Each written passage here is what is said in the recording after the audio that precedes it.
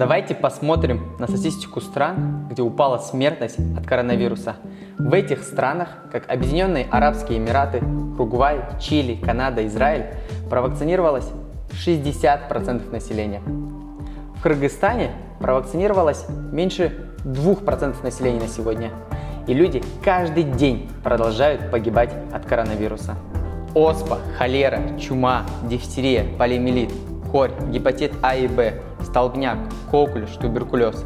Эти болезни убили сотни миллионов людей по всему миру, но благодаря вакцинам эти болезни уничтожены полностью или частично. Одна лишь оспа, представьте себе, убила больше 300 миллионов людей по всему миру. И вы, наверное, видели у своих родителей или у людей, кто жил при Советском Союзе, следы от вакцины от оспы. В мире больше никто не болеет оспой.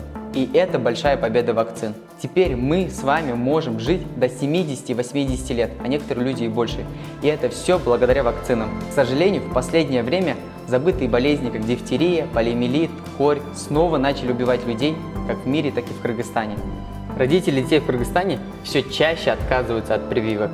Так, в 2014 году от прививок отказалось около 4000 родителей, а в 2018 году от прививок отказалось уже около 8 тысяч родителей. Сложно назвать главные причины роста недоверия к медицине. Некоторые родители отказываются от прививок из-за религиозных причин. Но история человечества давно уже доказала безопасность вакцин. Сейчас в Бишкеке абсолютно бесплатно прививают от коронавируса.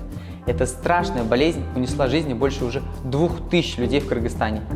И люди продолжают погибать каждый день. Единственное, что может остановить все эти смерти, это вакцинация. Коронавирус не исчезнет сам по себе. Вакцинация в Кыргызстане идет чрезвычайно медленно.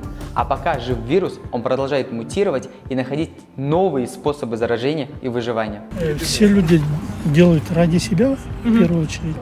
Потом ради детей, чтобы других не заразить. Чтобы не заразиться, чтобы не болеть. А вам в WhatsApp вот это... не присылают всякие такие, которые против вакцинации, то все? Ну, ими слухи-то разные идут, но все там по-разному. То нельзя, это нельзя, да если слуха верить, я не знаю тогда. Жить тогда вообще нельзя, да по-любому. Слухи это слухи. Вакцинировались, не вакцинировались? Нет.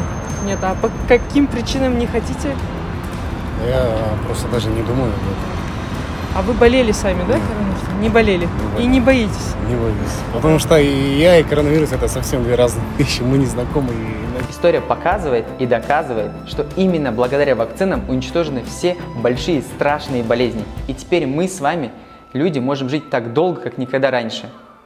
Это ваше личное право доверять неизвестному мужику в WhatsApp или довериться ученым и науке. Напишите нам в комментариях, а вы вакцинировались? И если нет, то почему?